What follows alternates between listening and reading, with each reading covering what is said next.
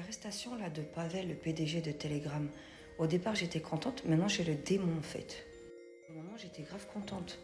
Bah, tout simplement parce que je pense aux victimes. Allez voir ma vidéo, vous allez comprendre de quelle victime, victime je vous parle. Euh, et j'étais avec l'une d'entre elles hier qui était hyper soulagée. Mais après, c'est redescendu. Voyez J'ai lu vos commentaires les uns après les autres.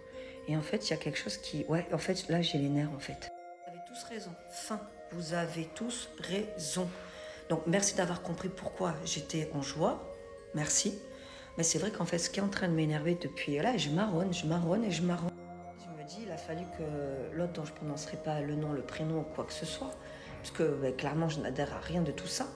Euh, il a fallu que lui soit pas content, effectivement, pour que Pavel il soit arrêté. Mais en fait, avec tout ce qui avait été dénoncé avant, mais tout ce qui avait été dénoncé, le nombre de personnes, c'est pas une blague, personne n'en parle, qui sont partis vers l'au-delà. De toute façon, je mens pas, il y a une vidéo d'une maman qui en parle euh, sur TikTok. Son fils a été piégé par cette arnaque aux photos de je vous savez quoi. J'ai fait un documentaire sur Omerta Productions. Vous allez voir, allez voir, juste allez voir le documentaire s'il vous plaît. C'est un 24 minutes, hein, c'est rapide. Et le deuxième là, il sort en, il sort là, c'est encore un autre document. Enfin, c'est un peu le même univers. Ah ça y est, ça m'a saoulé. Avez des citoyens français qui appellent euh, à l'aide. Alors c'est pas la justice, c'est pas la police, hein, parce que eux, ils ont fait leur travail. Ça va encore plus loin en fait. C'est en haut lieu, d'accord? C'est en haut lieu.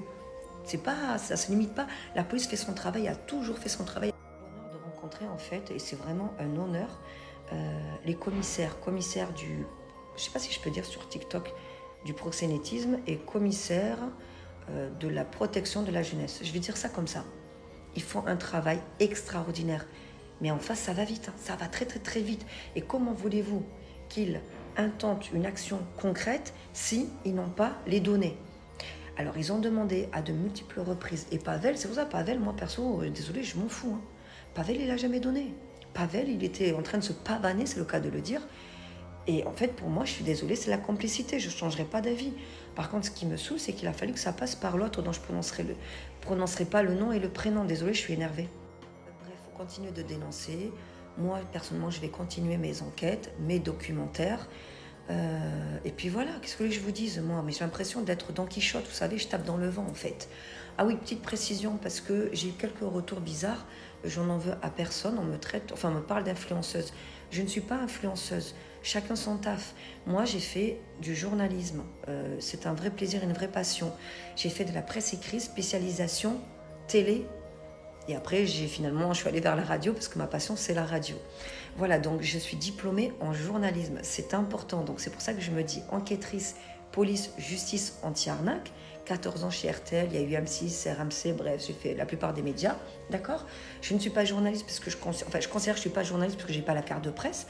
Je vous avoue, je ne l'ai jamais demandé, flemme. Mais je devrais pour les impôts.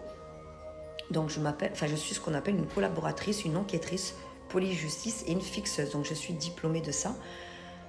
Voilà, c'était juste pour préciser, il n'y a pas de guéguerre, mais si on pouvait éviter de m'appeler influenceuse, je préfère que vous m'appeliez lanceuse d'alerte.